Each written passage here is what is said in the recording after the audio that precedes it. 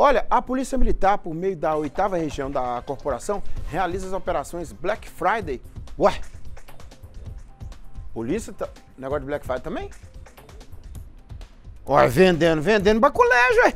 Vai, vai. Operações Black Friday e Natalina com fiscalizações, abordagens a veículos e pessoas. Alessandra Garcia e Wellington Cunha foram conferir o lançamento dessa ação policial no fim de ano, né? É, a gente tá brincando aqui, mas é importante que a polícia esteja na rua. Aí, vamos ver a reportagem aqui, pode balançar. Movimentação intensificada no comércio, contingente de policiais reforçado nas ruas, principalmente nas áreas mais comerciais da cidade.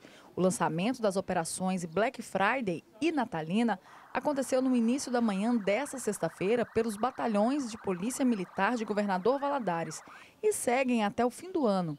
Essa é uma operação que ela todo ano ela ocorre e a Polícia Militar ela, sistematicamente faz estudos para combater os diversos tipos de crime. Em especial, nessa data, a gente vai é, combater crimes contra o patrimônio, crimes que possam vir a ocorrer nos comércios em virtude da grande quantidade de pessoas que circulam na, nas áreas comerciais nessa época. Quase 8 mil militares, inclusive os que atuam na parte administrativa, e 2.600 viaturas foram mobilizados para pontos estratégicos em todo o estado. Patrulhamentos, abordagens e ações educativas serão desenvolvidos pelas equipes. E toda essa estrutura montada faz parte da estratégia da Polícia Militar para garantir a segurança de todos. Mas nesse período de uma movimentação ainda maior, é necessário que entre em ação um outro componente extremamente importante para ajudar a polícia a prevenir os crimes: a atenção redobrada por parte de toda a população. A gente sabe que nessa data do ano há um aumento de pessoas no comércio da cidade e, em virtude disso, também a gente faz a prevenção é, nas áreas comerciais, bem como também a, o policiamento voltado à repressão qualificada.